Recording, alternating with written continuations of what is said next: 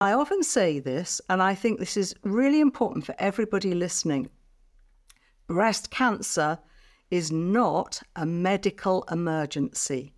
It is an emotional emergency, but it's not a medical one.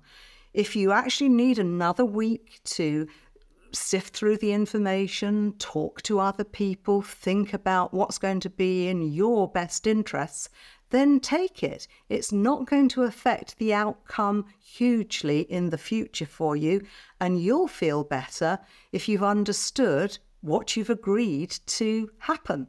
The management policies are very different for different types of breast cancer, but you can take your time.